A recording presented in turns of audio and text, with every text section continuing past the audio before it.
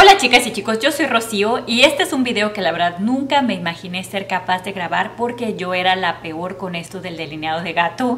Evitaba a toda costa este paso y si ustedes se regresan a ver mis videos de tres o cuatro meses para atrás verán que prácticamente ninguno llevaba un delineado así y en los que lo llevaba pues no estaba muy bien hecho que digamos. Pero he descubierto una técnica muy sencilla que quiero compartir con ustedes. La aprendí de la maquillista Pamela Segura, pero a lo largo de este tiempo yo ya le he puesto mucho de mi cosecha que son tips que me han servido muchísimo y espero a ustedes también. Un ojo lo vamos a estar haciendo con un delineador en crema y el otro en plumín para que vean que con cualquier herramienta que ustedes elijan nos puede servir este video. Espero les guste y les recuerdo que se pueden suscribir a este canal si es que no lo han hecho para ver más videos como este. Regálenme un like y comencemos. El delineador en crema que yo tengo es de Stila. La verdad es que yo le tenía mucho miedo a los delineadores en crema y a las brochas. Pensaba que era más difícil que con los delineadores en plumín tradicionales, pero creo que es más fácil ya que la brocha tiene un mango más largo tenemos como más forma de precisión al estar haciendo esta línea que con algo tan cortito como por ejemplo este delineador en plumín. Pero sí entiendo que al principio sí nos da miedo al menos a mí me daban mucho miedo. Y voy a tomar un poquito creo que cualquier delineador en crema nos puede servir. Voy a estar quitando el exceso así en el costado de mi mano para que me quede muy fina la brocha y el trazo que vamos a estar haciendo. Y para este truco necesitamos imaginación porque vamos a estar viendo esta parte de la esquinita de la línea del agua de nuestros ojos y vamos a imaginar así en el mismo ángulo cómo continúa hacia la ceja. Eso es lo que a mí me funciona para imaginarme cómo voy a estar haciendo la línea, hacia dónde la tengo que dirigir.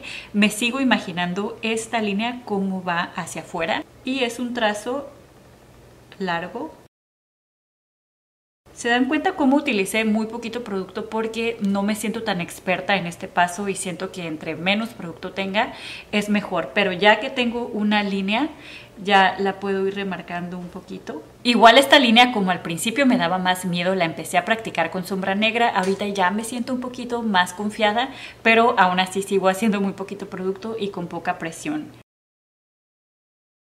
Y voy a tomar un poco más de producto, pero igual en la palma, perdón, en el costado de mi mano voy quitando los excesos. Y la segunda parte de esta técnica es hacer la colita, pero el truco es en comenzar no desde que termina esta línea y así, sino para que quede más bonita es dejar un pedacito de la línea sin nada y comenzar un poco más abajo. Y nos vamos a estar dirigiendo obviamente como a esta parte del ojo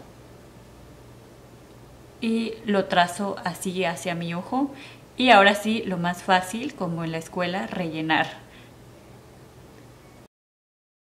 Volvemos a tomar más producto para terminarla hacia la parte de enfrente y ahora sí lo recomendable es ver hacia adelante para ir midiéndole qué tanto vamos a estar rellenando y qué tanto se va a ver. A mí me gusta que esta esquina sea con el menor producto posible. Hay ocasiones de hecho en la que lo dejo libre y nada más lo termino aquí en la esquina. Entonces es meternos nada más hacia el nacimiento de las pestañas. Como este ángulo que llevamos aquí, tratar de cerrarlo hacia abajo y no continuarlo derecho. Y ya en la parte de aquí más cercana al lagrimal, ya no lo hago ni siquiera por la parte del párpado, sino más como por abajo, como si estuviera delineando por dentro. Y lo que se busca es tratar de unir la línea que llevamos de abajo con la de arriba para que se vea como un efecto perfecto o perfeccionado. Y esto es opcional, pero se ve muy sexy el remarcar el lagrimal como esta esquinita hace que se vea mucho más como mirada de gato. Y de una vez lo perfeccionamos también por la parte interna. Y queda la mirada así como mucho más definida y con un cotonete entro aquí a esta orillita porque muchas veces se puede acumular parte del delineador y hacer que se vea como una bolita Entonces ya de esta forma nada más quito el exceso para que se vea más limpio este trazo. Para este lado vamos a estar replicando exactamente la misma técnica, nada más que con un plumín que como les digo no se me hace tan fácil que con el delineador en crema y la brocha y menos así con un plumín cortito, pero como les digo la técnica es la misma sin importar la herramienta que estemos usando. Y empiezo a imaginarme que mi línea del agua sigue hacia afuera y así es como hago el trazo. Ustedes perdonen que tenga un poquito de pegamento de pestañas postizas en mi propias pestañas. Y la segunda parte del truco es, como les decía, trazar la línea de la colita, pero no donde termina la línea guía, sino un poquito más abajo. Y la rellenamos. Cuando ustedes estén en su casa practicando, lo que yo más les recomiendo es que las dos líneas guías las hagan al mismo tiempo. Por si ven que los ángulos están diferentes, por si una está más abajo, pues la pueden borrar. En vez de hacer un ojo primero y tratar de que el otro quede igual, puede ser un poco más difícil, pero obviamente no imposible. Y ahora seguimos rellenando hacia la parte interna del ojo. Y en la parte más cercana al lagrimal es como si estuviéramos delineando, pero por dentro.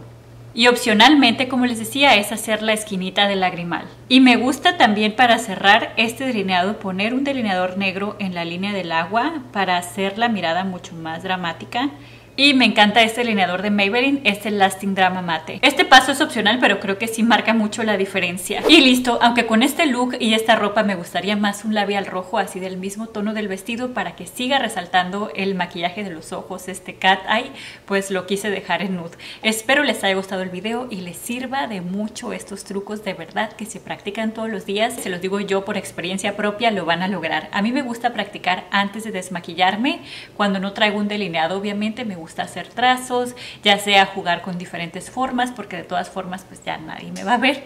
Espero les haya gustado el video y tal vez lo puedan compartir con alguien que le gusta el maquillaje y estas cosas divertidas y que tal vez no le sale tan bien el delineado de gato. Regálenme un like y también espero sus comentarios de qué opinan de estos trucos. Y nos vemos muy pronto en uno próximo. Adiós.